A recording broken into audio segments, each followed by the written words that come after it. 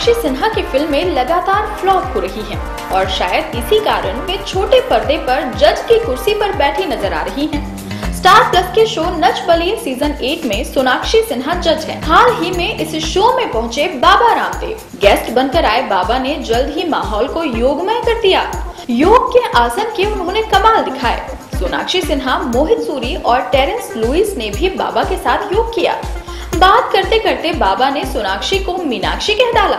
सोनाक्षी का चेहरा देख बाबा को फ़ौरन पता चल गया कि वे सोनाक्षी का नाम गलत बोल गए हैं। तुरंत गलती सुधारी और सोनाक्षी से माफ़ी भी मांग ली। सोनाक्षी ने भी हँसते हुए जता दिया कि उन्हें बुरा नहीं लगा।